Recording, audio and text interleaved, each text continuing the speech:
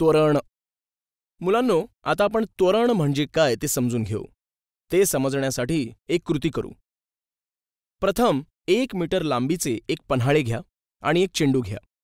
पन्हाळे म्हणजेच आपल्या घराच्या छतावरील पाणी वाहून जाण्यासाठी ज्या नळीचा वापर करतात ती अर्धगोल नळी.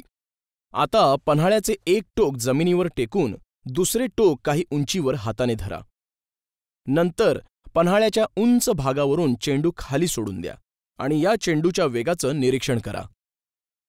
तुम्ही या चेंडूचे निरीक्षण केले आहेच मग मला सांगा आता चेंडू वरून खाली येताना चेंडूचा वेग सारखाच होता का?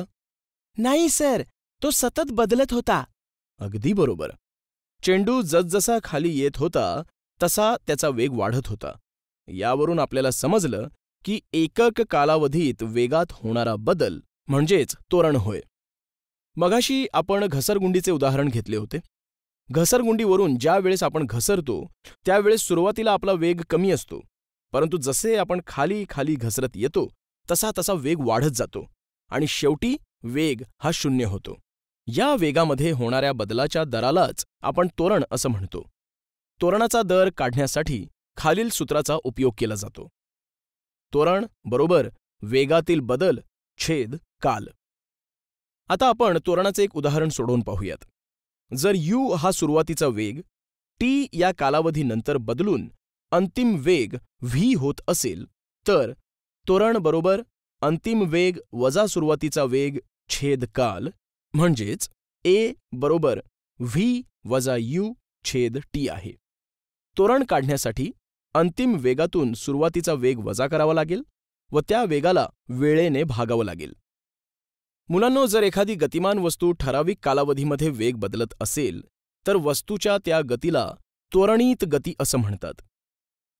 गतिमान वस्तूमध्ये दोन प्रकारचं तोरण असतं. ते म्हणजे एक समान तोरण आणि नैक समान तोरण एक समान तोरण जर समान कालावधीत वेगामध्ये समान बदल होत असेल तर एक समान तोरण होतं.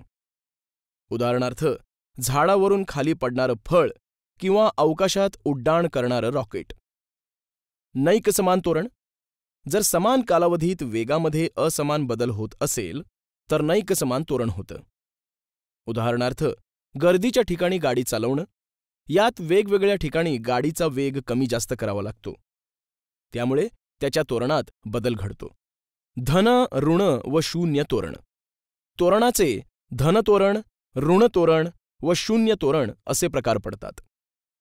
वस्तूचा वेग वाढत असेल तर त्याला धनतोरण असं म्हणतात. उदाहरणार्थ घसरगुंडीवरून चेंडू खाली सोडला की वेग वाढत जातो. धनतोरण म्हणजे उतारावरून घरंगळणाऱ्या चेंडूच्या वेगात वेळेनुसार वाढ होते. याउलट जेव्हा वस्तूचा वेग कमी होत असेल तर त्याला ऋणतोरण असं म्हणतात. ऋणतोरण म्हणजे वर फेकलेल्या चेंडूचा वेग वेळेनुसार कमी होत जातो. या ऋणतोरणालाच अवतोरण किंवा मंदन असेही म्हणतात व ते वेगाच्या विरुद्ध दिशेने असते आणि जेव्हा वेग स्थिर असेल तेव्हा शून्य तोरण असते.